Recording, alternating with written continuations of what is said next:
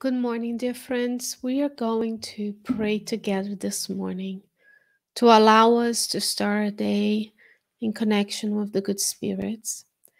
And the inspirational message for this morning is titled Your Book from the Spirit Emmanuel through the mediumship of Francisco Cândido Xavier in a book called Hands United. This message titled Your Book by Emmanuel says, your existence on earth is a book you're writing.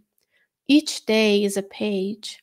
Each hour is an affirmation of your personality through people and situations that seek you.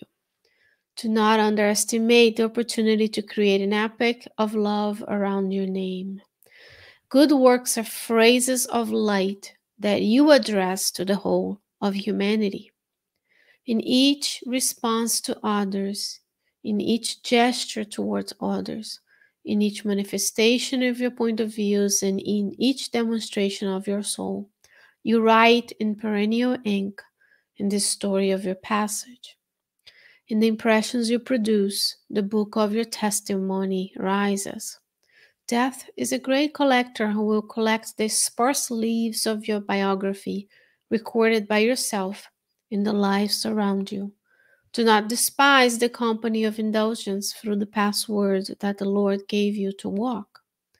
Make an area of love around your heart, because only love is strong and wise enough to guide your individual writing, converting it into a companion of help and hope for those who follow your footsteps. Live with Jesus in the intimacy of your heart do not turn away from Him in your actions of each day, and the book of your life will become a poem of happiness and a treasure of blessings.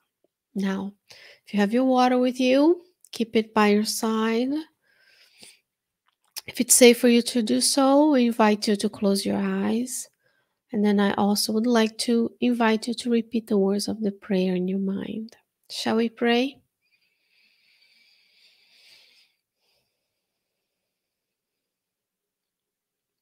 Dear Mother, Father God, thank you so much for this opportunity of one more day in this lifetime.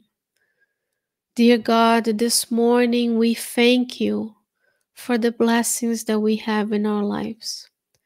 And we pray not only for ourselves and our loved ones in our homes, in both realms of life.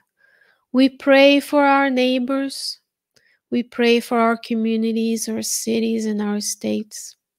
We pray for all of humanity that we not only seek and find the consolation that our hearts desire, but that we also feel inspired by the good spirits.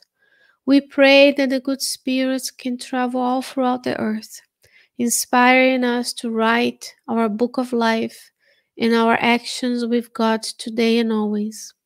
We pray for the inspiration that we are patient and kind to everyone who comes our way. And we pray that in the book of hours, of days, and minutes that are left in this life, we pray that we can construct goodness all around us and that we can seek in the Lord the inspiration to continue working towards the goodness that surround us and co creating with God everywhere we go. We pray for inspiration in our words, our actions, and our thoughts so that we can bring together with the good spirits the good that we seek to see in the world. Please, God, allow us to be kind, to be compassionate, to be empathetic, and bathe our path with indulgence towards everyone including ourselves.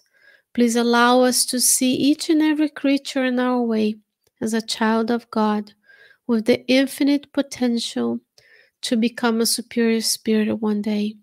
Please, God, help us focus on the goodness that each and every one of us bring towards our life.